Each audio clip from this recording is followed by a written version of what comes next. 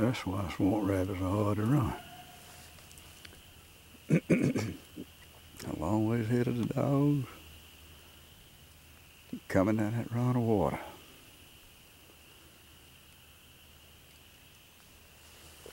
Going on out through the pines now.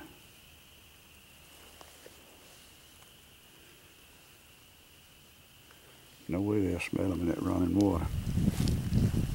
If it wasn't running, they could try, probably track him, but it's moving.